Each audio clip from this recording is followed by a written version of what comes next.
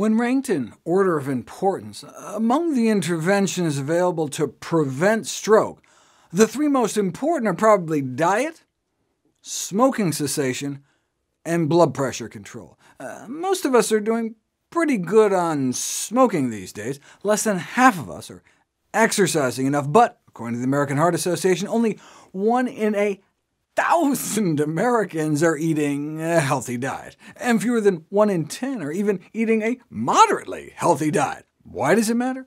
Because diet is an important part of stroke prevention.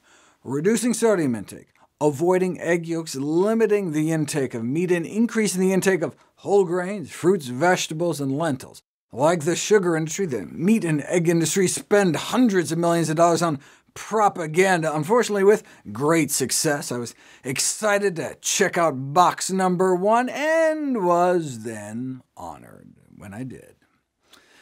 The strongest evidence for stroke protection is for increasing fruit and vegetable intake with more uncertainty regarding the role of whole grains, animal products, and dietary patterns such as vegetarian diets. I mean, one would expect they'd do great. I mean, meta-analyses have found that vegetarian diets lower cholesterol and blood pressure, and enhance weight loss and blood sugar control, and vegan diets may work even better. So all the key biomarkers are going in the right direction, but you may be surprised to learn that there hadn't ever been any studies on the incidence of stroke in vegetarians and vegans until now.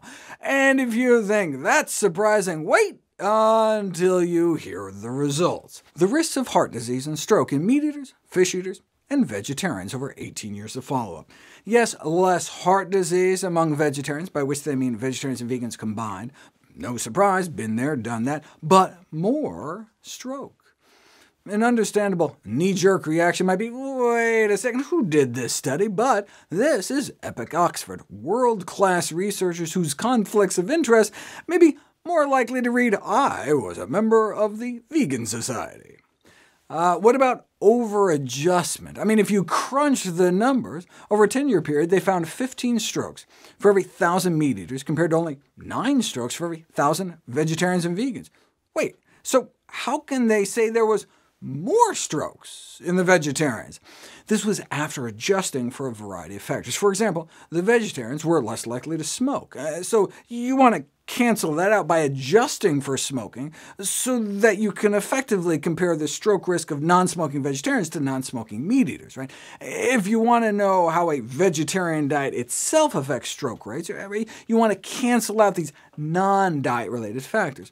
Uh, sometimes, though, you can over-adjust. The sugar industry does it all the time. This is how it works. Imagine you just got a grant from the soda industry to study the effects of soda on the childhood obesity epidemic. I mean, what could you possibly do after you know, putting all the studies together to arrive at the conclusion that there was near zero effect of sugary beverage consumption on body weight? Well, since you know that drinking liquid candy can lead to excess calories that can lead to obesity, if you control for calories, if you control for a factor that's in the causal chain, effectively only comparing soda drinkers who take in the same number of calories as non-soda drinkers, right?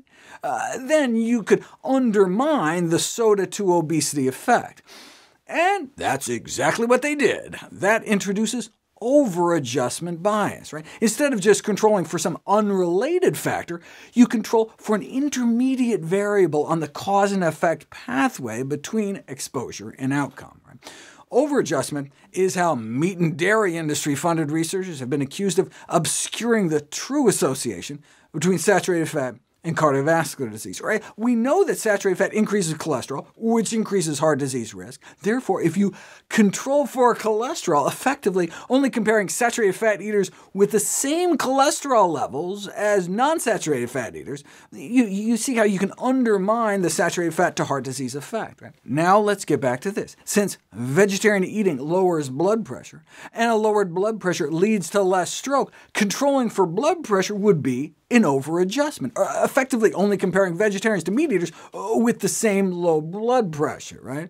That's not fair, right? since that's one of the benefits of vegetarian eating, not some unrelated factor like smoking, and so it would, be, uh, it would undermine the afforded protection. So did they do that? No. They only adjusted for unrelated factors like education and socioeconomic class and smoking and exercise and alcohol, right? And that's what you want, right? You want to tease out the effects of a vegetarian diet on stroke risk, right? You, you want to try to equalize everything else to tease out the effects of just the dietary choice. And since, for example, meat eaters in the study were on average 10 years older than the vegetarians, you can totally see how, uh, when you adjust for that, vegetarians could come out worse. Uh, since stroke risk can increase exponentially with age, you can see how having you know, nine strokes among 1,000 vegetarians in their 40s could be worse than 15 strokes among 1,000 meat eaters in their 50s. The fact that vegetarians had greater stroke risk, uh, despite their lower blood pressure, suggests there's, there's something about meat-free diets that so increases stroke risk it's enough to cancel out the blood pressure benefits. But even if that's true, you still would want to eat that way. I mean, stroke is our fifth leading cause of death, whereas heart disease is number one. So um, yes, in this study, there, there were this many more cases of stroke in vegetarians, but there were this many fewer cases of heart disease. Uh, but if there is something increasing stroke risk in vegetarians, I mean, it'd be nice to know what it is. In hopes of figuring out how to get the best of both worlds, this is the question we'll turn to next.